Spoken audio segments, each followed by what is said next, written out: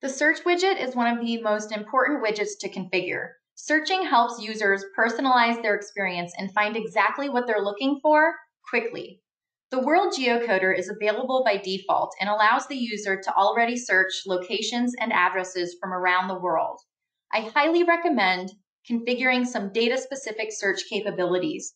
For me, I'm going to use my wildfires point layer to allow users to search by wildfire name. To do this, I'm going to hover over Add Search Source, and then I'm going to add my wildfires feature. Once added, I'm going to change the name of this search to wildfire name, and then I'm going to click on the pencil to the right of the search fields and choose the fire name attribute. I'm going to leave the display set to fire name, which means that the suggestions and search results will display by fire name.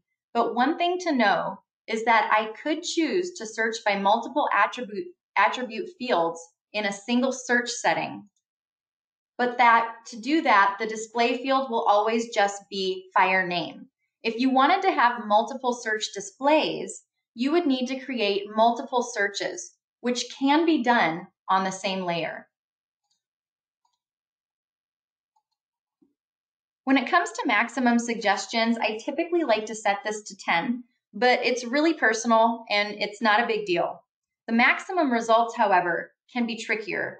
For instance, if you're configuring an address point layer that has many apartment units associated with a single address, then paying attention to the maximum results is important because it could mean that some units don't appear in the results.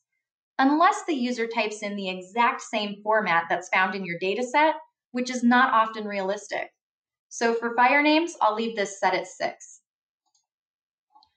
For address point layers, I, set, I typically set the zoom at 1 to 2000 scale, but for this wildfire data, I need to choose something that will help the map zoom to the location, but not cause the user to lose a sense of where the point is actually located. I'm going to start with 500,000 and see how that goes.